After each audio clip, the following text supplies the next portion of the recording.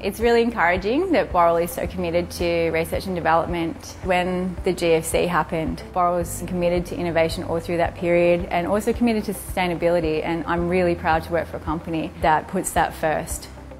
Boral recognised the need for low carbon concrete and we realised that the key drawback of most low carbon concretes was the elongation of cycle times, which basically means it takes longer to build buildings. Typically, Portland cement gains strength quite quickly. When we make lower carbon concretes, we replace a portion of the Portland cement with slag or fly ash. That makes it gain strength more slowly.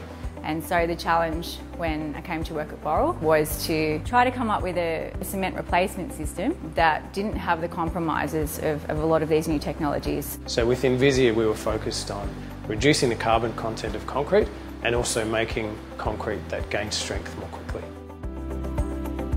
My name is Latina Malamiri and I'm a design manager with Wildpack Construction.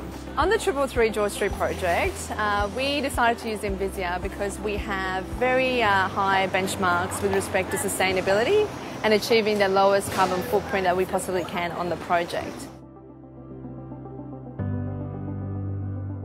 I think the most exciting thing about the Stokehouse is the, uh, the fact that we've managed to make it as environmentally friendly as we possibly can with the help of people like Boral, we've managed to have this amazing restaurant that uh, will appear to be floating about two metres above the sand dunes.